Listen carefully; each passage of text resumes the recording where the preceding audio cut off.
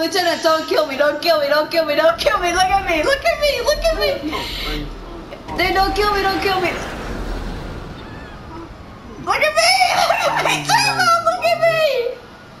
Ah, what the frick?